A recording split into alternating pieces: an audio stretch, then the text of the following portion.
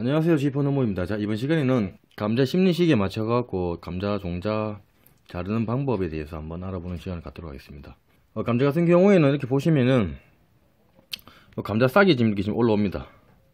이런 식으로 보시면 여기도 그죠?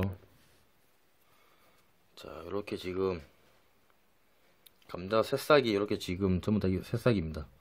이렇게 올라오는데 보통 감자 같은 경우는 고구마 다르게 이 자체를 어, 땅에 심어서 어, 수확을 합니다. 그래서 어, 고구마 같은 경우에는 고구마를 심어서 줄기를 다시 꺾어서 땅에다 심는 반면에 감자 같은 경우는 이 감자 자체를 땅에다 심는 거기 때문에 어, 그 차이가 있고요.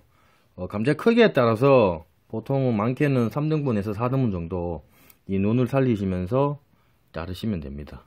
이게 솔직히 뭐 그렇게 어려운 부분은 아니라서 크기에 맞춰갖고 이런 식으로 감자 눈이 하나 둘 이런 식으로 더 있게끔 해서 감자 눈이 다치지 않게끔 해서 잘라서 요 상태로 땅에 들어가게 되면은 감자가 밑에 주렁주렁 달리게 됩니다. 어, 여기서 이제 뭐 감자를 자를 때 주의할 점은 이렇게 뭔가 좀 새싹처하고 좀 오목하게 들어간 부분에 이 부분에서 전부 다 감자 새싹이 나오기 때문에 이런 부위 이런 부위 보이시죠? 약간 좀 함몰된 부위 자 여기 보이시죠? 요런 부위 요런 부위 요런 부위